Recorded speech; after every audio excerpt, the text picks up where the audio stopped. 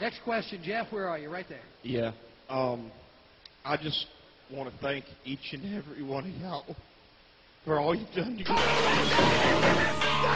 Entréguenos el dinero.